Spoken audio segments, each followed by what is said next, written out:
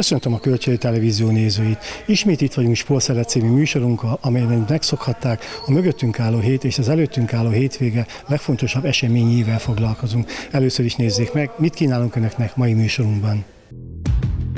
A héten már felkészülési meccset játszanak Debrecenben a kék. Negyedik alkalommal rendezik meg a Vittúr Nyíregyházi Futófesztivált. 13 csapat lépett pályára a harmadik nemzetközi gyarmati vigasságok utánpótlás labdarúgó tornán. A régi edzővel, de átalakult játékos kerettel kezdte a felkészülést a Fátum Nyíregyháza.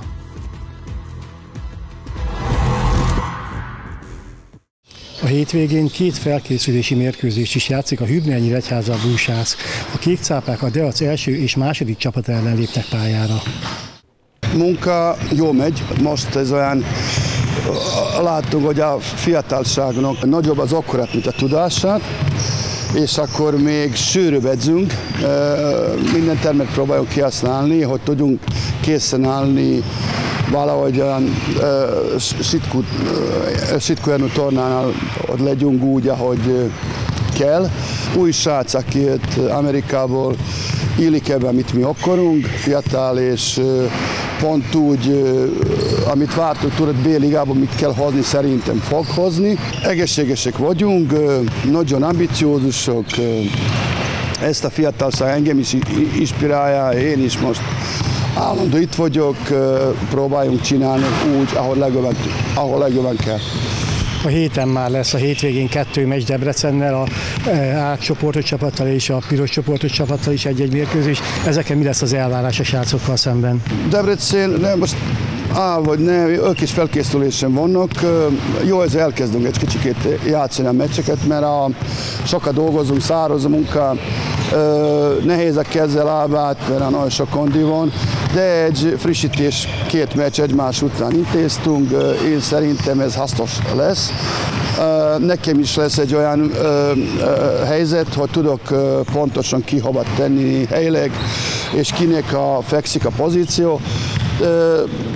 Meglátjuk, meglátjuk, mondtam, két meccs lesz, és akkor meglátjuk, hogy lesz ez. Egy amerikai játékos számára minden bizonyja sok fejtörést okoz, amikor először szerződik Európában, miért éppen a Nyíregyháza ajánlatát fogadtad el? The reason I took this chance was due to the fact that the, the... Nagyon szimpatikus volt a Hübner Nyíregyháza ajánlata.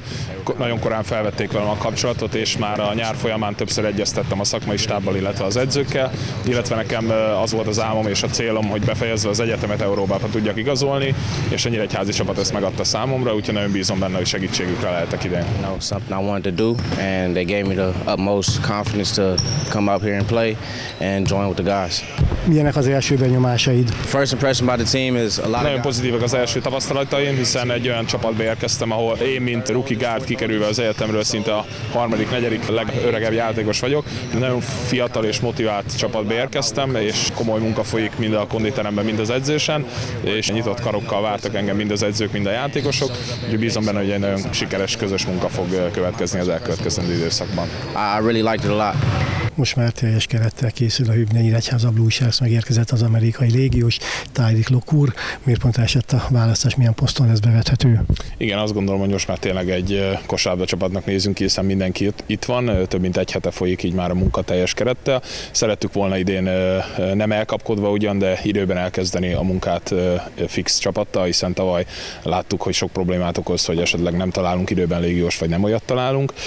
Hogy miért esett Tyreekra a választás? Egy igazán jó egyetemi programból kerül ki, ugye az NCAA első divíziójában játszott 5 éven keresztül. Felvettem a kapcsolatot a volt edzőjével, a volt csapattársai egyikével, illetve leszkautoltuk, a szabad így mondanom. Mindenberileg mind játékos szinten egy olyan játékos sikerült igazolnunk, aki nagy segítségre lehet idén. Egyes, kettes poszton bevethető, további, továbbiak majd a későbben kiderülnek róla, de azt gondolom, hogy miután mindkét pozícióban játszott, és, és jól játszott, jó számokat hozott, mind pontban, mind asszisztban, ezért igazi vezére lehet a csapatnak. Közben elkészült a sorsolás, ugye 13 csapat alkotja majd a piros csoport mezőnyét, és szeptember utolsó hétvégén a Vasas ellen hazai pályán kezdenek a cápák. Mit lehet tudni a mezőnyről, mennyiben másabb, mint a legutóbbi szezonban? Amióta én itt vagyok Nyíregyházán ügyvezetőként, az első olyan év, hogy hazai közönség előtt kezdhetjük meg az idényt. Mondhatom egy rangadóval, hiszen a Vasas mindig ott szokott lenni az élmezőnyben, és mindig komoly meccseket játszunk velük. Én azt gondolom, hogy ők idén is jók lesznek, mellettük a MAFC, a BKG, aki mindig tényező, és hát ugye a kieső Kaposvár az, aki kihirdette, hogy már föl is akar jutni, és egy egészen erős keretet hozott össze, tehát előre láthatólag azt látom, hogy négy-öt csapat mehet az első helyek egyikéért, kiemelkedő csapatot még nem látok, bízom benne, hogy mi is ott leszünk, de valószínűleg nagyon szoros lesz az élmezőny, és nüanszok fognak dönteni a végén. Most következnek majd a felkészülési mérkőzések. Ugye lehet azt mondani, hogy talán a legfontosabb a Nyíregyházi Sitkó Ernő emléktorna. Mikor lesz és milyen ellenfelekkel? Első körben most Debrecennel játszunk egy visszát, majd megyünk Tiszajvárosba, és szeptember 6-7-én, péntek szombaton pedig egy nagyon komoly erőfelmérő lesz, hiszen a, a Sitkó Ernő emléktornál immár negyedik alkalommal megrendezésre kerül, és most is olyan csapatok fogadták el a meghívást, ahol ugye Ernő korábban pályafutását töltötte, így a Deac, a Honvéd, illetve a Nyíregyházi csapat mellett a Paks fogadta el a idén a meghívásunkat, úgyhogy egy nagyon nívós torna lesz, három első osztályú csapat ellen, egy jó erőfelmérő, nyilván itt nem azon lesz a hangsúly, hogy nyerjünk, hanem azon, hogy jó mérkőzéseket játszunk, a publikum ezt meg tudja tekinteni, úgyhogy várunk mindenkit sok szeretettel a mérkőzésekre. A hétvégén negyedik alkalommal rendezik meg a Vittú Nyíregyházi Futófesztivált. A résztvevők vasárnap a Kossuth térre rajtolva teljesíthetik az 1, az 5, a 10 kilométeres távot és a félmaratonit. Az első napon egy motivációs eset tartunk, ilyenkor országosan elismert sportolók és szakemberek motiválnak minket az egészséges életmódra. Idén az egyik fő célja ennek az esnek, hogy a hosszú egészséges életre motiválnánk a, a futókat, ide azokat várjuk, akik másnap futnak, tehát bármilyen jótékonysági jegyel tudnak jelentkezni, és az online is élőben lehet közvetíteni, úgyhogy aki nem tud eh, jelen lenni, az mindenképpen nézze online. Másnap pedig indulnak a futóversenyek az egy kilométeres jótékonysági távtól, a gyermektávon át 5 és 10 kilométer egészen az egykörös felmaratonig, ami csodálatos országos szinten is, hiszen két tóval, Sóstai út gerincével, változatos tereppel várjuk a futókat. Honnan érkeznek a futók az előzetes regisztrációk alapján, mekkora mezőnyre lehet számítani? Nagyságrendileg 50%-uk Nyíregyháza és környéke, öröm számunkra, hogy az ország másik feléből is, és nem ritka, hogy külföldről is neveznek. Tavaly több mint 900 futó volt, idén is nagyságrendileg ezt a számot várjuk. Ugye az önkéntes csapatunk az országosan kimagasló, 5 futóra egy önkéntes út, tehát nagyságrendileg 200 önkéntessel próbáljuk kiszolgálni a futók igényeit. Én azt gondolom, hogy a szurkolókkal és a Brand New koncert részvevőivel egy nagyon szép létszámmal leszünk jelen. Szükséges-e csak előzetes regisztráció, vagy akár a helyszínen is lehet nevezni? Előzetes regisztráció az előny, egészen a verseny hetében szerda évfélig lehet, de aki lemaradt, vagy még nem tudja, hogy mit tervez a hétvégére, szombat délután is, és vasárnap kor reggel is van lehetősége. Én azt javaslom, hogy aki teheti, az inkább szombatra időzítse, mert vasárnap eszméletlen sokan lesznek, nehogy emiatt maradjon le rajtról. Bár nem szoktuk, inkább csúsztatjuk, de a cél, hogy szombaton regisztráljanak. Ez a rendezvény egyben jótékonysági rendezvény is. Most mire gyűjtötök? Jótékonysági eseményt 100%-ban felajánljuk, a bohóz doktorokra gyűjtünk, ők ugye a beteg gyermekeket látogatják meg a kórházban, és egy kicsivel jobb, kedve, jobb kedvre derítik. Mellette pedig a Kérlek Segíts Alapítványnak jótékonykodunk, ők elhízott gyermekek táboroztatásával foglalkoznak, és ugye e, nagy elismerés az eseménynek, hogy négy évvel ezelőtt, amikor elindítottuk ezt a futófesztivált, akkor az volt a célunk, ugyanúgy a Kérlek Segíts Alapítványnak gyűjtöttünk, hogy egy nagy szabású külső robotváz, tehát egy exoskeleton kerüljön a helyi kórházba, és az okfő segítségével a kórháznak tavaly sikerült is beszerezni lebénult emberek és mozgás korlátozottaknak segít ez a robotváz újra visszatérni a normális életbe, hogy újra tudjanak lépni, lépkedni, és nagyon fontos, hogy idén a félmaratont egy olyan úriemberre nyitjuk meg, aki az exoskeletonnak köszönhetően újra mozgásba állt, pedig tavaly, tavaly előtt sztrókot kapott. Negyedik alkalommal rendezik meg Nyíregyházán a Vittó Jótékonysági Futófesztivált. Mennyiben más ez a rendezvény, mint egy szimpla, szimplának mondott futóverseny? A hangulata szerintem egy egyedülálló, az is egyedülálló, hogy ugye a félmaraton az egykörös, és a város legszebb részein megy keresztül, de hát a hangulata is, mert ugye amennyi önkéntes itt van, és amilyen hangulatban fogadják a befutókat, és biztatják az emberek a futókat, ez nagyon-nagyon különleges. És hát az is ugye úgy több, többféle táv van, ahogy szokott, tehát az egy kilométertől a félmaratonig, és hát talán attól is különleges, hogy megint itt lesznek a testvérvárosaink, három testvérváros, és ők is részt vesznek a futáson, de nyilván a cégek is, bárki, bárki jöhet, és talán még az az egyedisége, hogy itt megint van egy összefogás. Az önkormányzat mellett ott van a névadó szponzor a Vittor, egy fontos gazdasági szervezet cég Nyíregyházán, és ott, van a, ott vannak a mozaikosok, a civil szervezet, akik szervezik és végzik ezt az óriási munkát, ami amivel ez jár egy ilyen futófesztivál, és az időzítés is, hát egy videófesztivál közepén zajlik, és remélem, hogy most is olyan népszerű és jó hangulatú lesz, mint tavaly. Aki mozog kerékpározik, vagy sétál a városban, lát kerékpározókat, gyalogolókat, futókat, mennyire népszerű a futás itt a Vármegye székhelyen? E, hála Istennek egyre népszerűbb és nagyon népszerű, azt tudom mondani.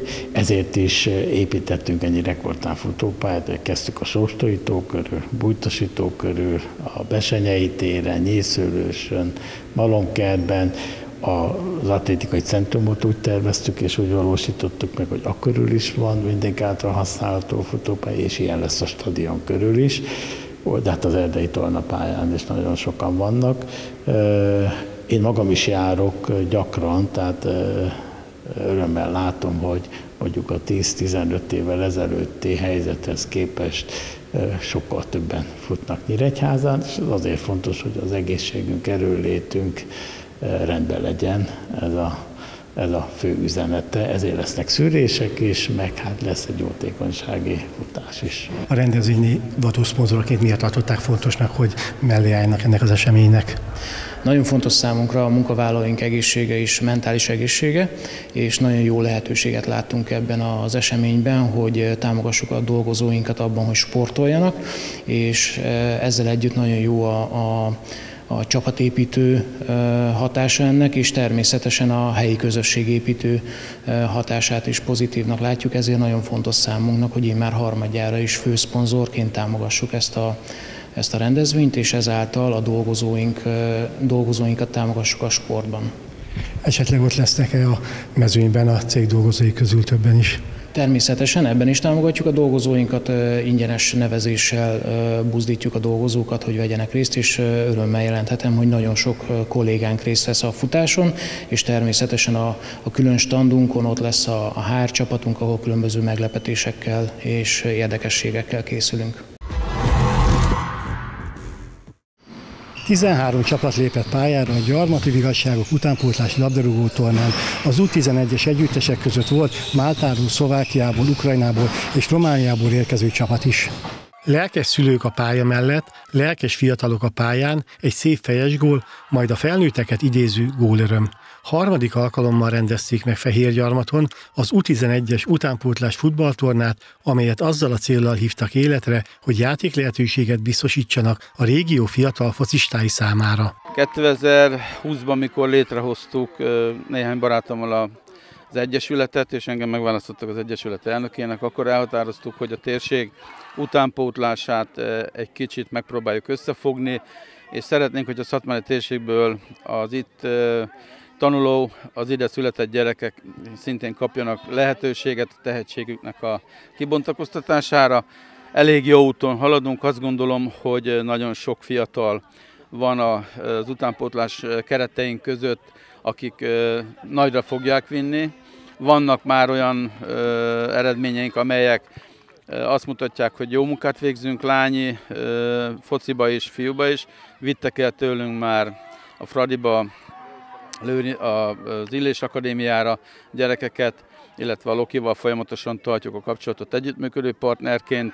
Én azt gondolom, hogy ezek a srácok megérdemlik ezt a lehetőséget, és az, hogy ne csak házon belül, ne csak itt egy megyén belül dolgozzunk, elhatároztuk, elhatároztam, hogy nézzünk egy kicsit ki, nézzünk szét a Kárpát-medencébe. Én a Kárpát-medence oktatás tanács egyik tagjaként fel tudtam menni a kapcsolatot ezekkel az akadémiákkal. Geletei Zoltán szakosztályvezetőn pedig nagyon szépen összeszervezte magát ezt a rendezvényt. Én bízok abba, hogy hagyományteremtő lett ez a kis torna és a legközelebbi időszakban is meg fogjuk tudni szervezni. Nagyon köszönöm a támogató vállalkozóknak, önkormányzatoknak, önkormányzatnak, cégeknek a, az anyagi támogatást. Én az, azt hiszem és azt vallom, hogy ez a támogatás, ez nagyon jó érre érkezett, mert látványos az az öröm, látványos az a hozzáállás, amit itt nem csak a gyerekek, hanem a szülők is mutatnak, adnak. Én nagyon régen láttam Fehérgyarmati sportpályán ennyi személyautót és ekkora közönséget. A mezőny igazán nemzetközi volt, mivel a környező országok képviselői mellett még Máltáról érkező vendégeket is fogadtak a fehérgyarmatiak. Mi ezt már elkezdtük 2023. decemberében szervezni, hiszen tudjuk, hogy ezek a kiemelt akadémiák, mint a Dunaszerdahely, a Sepsi Szentgyörgy, akár a magyarországiak közül a Ferencváros, a DVSC, a Kisvárda, akár a Barsz Akadémia, vagy a Nyíregyházi Bozsik is előre lekötik, tehát nyilván előre lekötött programjuk van, úgyhogy mi már ezt elkezdtük 2023. decemberében szervezni, és így folyamatosan építettük, építettük, és én úgy gondolom, hogy nagyon jól sikerült, tehát az a lényeg, hogy beindult, elindult ez a mai rendezvényünk sikeresen, zökkenőmentesen, és természetesen ez egy óriási öröm számomra is, hogy tegnap, amikor megláttam a Duna Szerda helyet hívtak, hogy közelednek egy óriási buszra, és akkor el, el is gondolkodtam azért, hogy egy Fehérgyarmatra egy ilyen